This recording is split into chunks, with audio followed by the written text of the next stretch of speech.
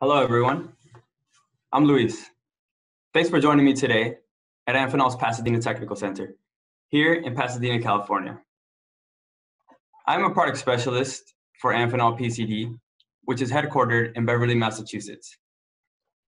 Amphenol PCD offers a wide variety of products and solutions for military and aerospace applications to customers around the world. The Amphenol Pasadena Technical Center exists with the intention to provide support to our West Coast customers. One of the latest additions to the APCD product line offerings is the IFE Systems products.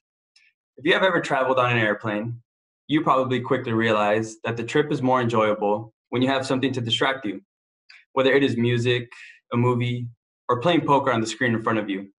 All these forms of entertainment stem from the same core concept, making the passenger's experience as enjoyable as possible. In today's times, we usually expect to see a digital screen in front of us and a USB charging port near us when we are in an airplane. There is a screen, there must also be an audio jack to connect your headphones.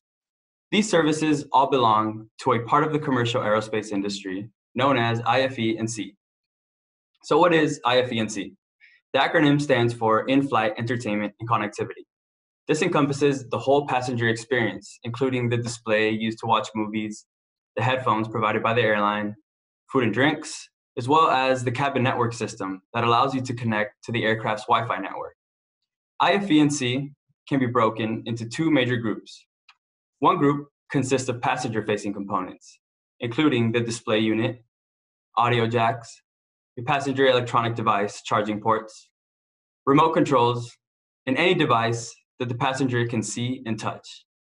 The other group consists of system components, which includes modems, servers, routers, and wireless access points. The passengers do not directly interface with the system components, but they are very critical in making the passenger components function. The IFE systems products at Amphenol PCD are passenger-facing components that integrate with the IFE and are designed to enhance the passenger experience. The idea behind in-flight entertainment, after all, is of course in the name itself to provide entertainment to passengers. But the engineering that goes into the passenger-facing components attacks problems from a higher point of view. Passenger electronic device charging. So as devices evolve, the power range of the devices evolve as well. In the past, when we had the small square iPhones, they would take four and a half watts charge, and that was sufficient. As we know, in today's world, as the technology gets more refined, cameras become more high tech, the product uses more battery life and requires a higher wattage to charge, and the batteries drain relatively faster. So as you can see here, the device power range, the evolution of specifications and the products themselves. So the offerings went from two and a half watts to the future, which is USB-C PD 100 watts and even more.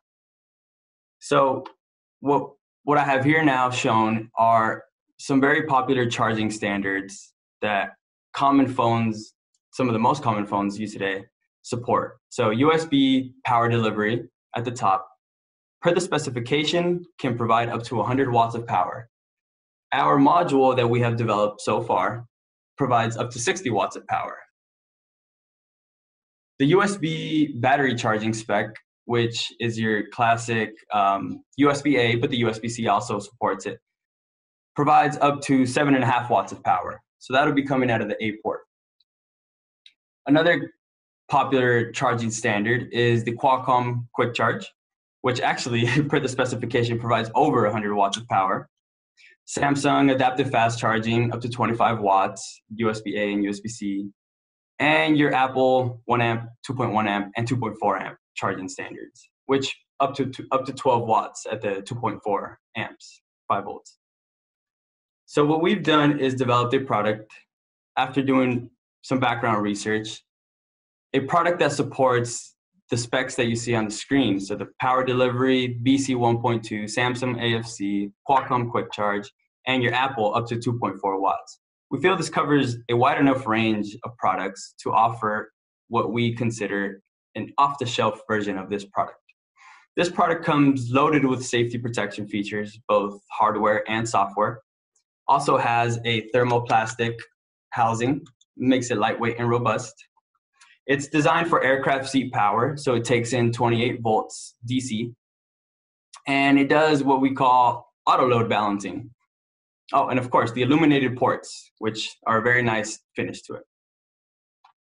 So just to cover some of the most popular phones that we see today, your iPhone 12, Samsung Galaxies, your Google phones, they essentially all support USB PD. And Qualcomm Quick Charge is also another very popular one.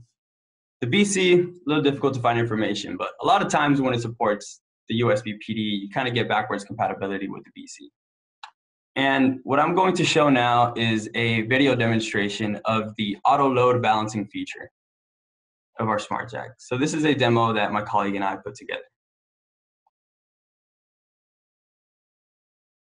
USB-A port plugged in, USB-C plugged in,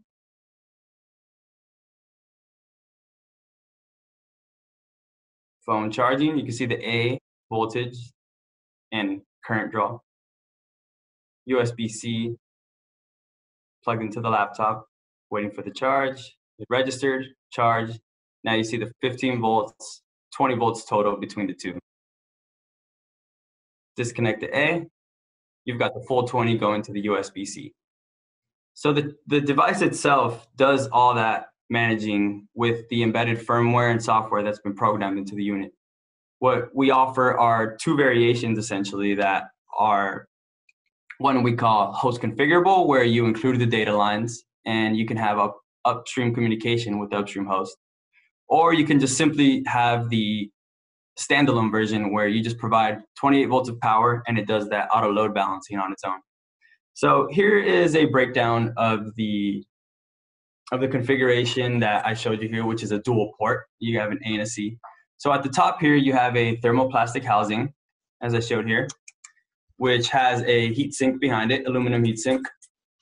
You've got your pawl latch assembly for integration, very popular in the aircraft cabin.